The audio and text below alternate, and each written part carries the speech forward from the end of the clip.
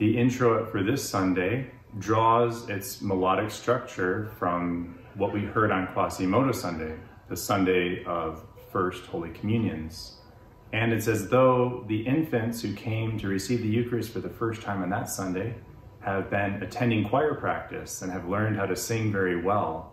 So on this Sunday, the introit says, Sing to the Lord a new song. It is a song of thanksgiving and a reminder to those who receive the Eucharist that our expression must be one of thanks. We must always be thankful for that greatest of gifts. Never take it for granted.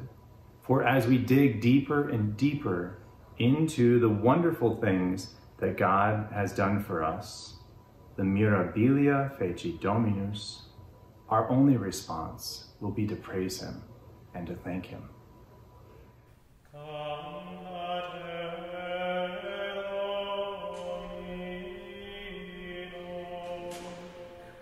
Amen.